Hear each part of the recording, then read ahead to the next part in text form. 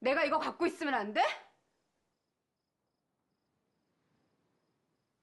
나는 내가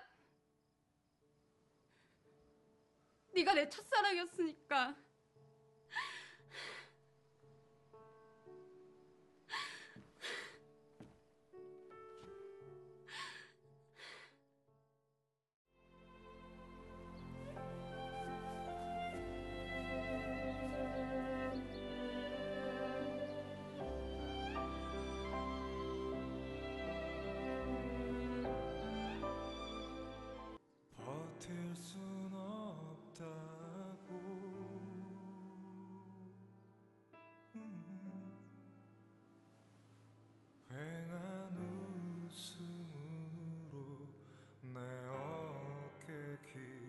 day.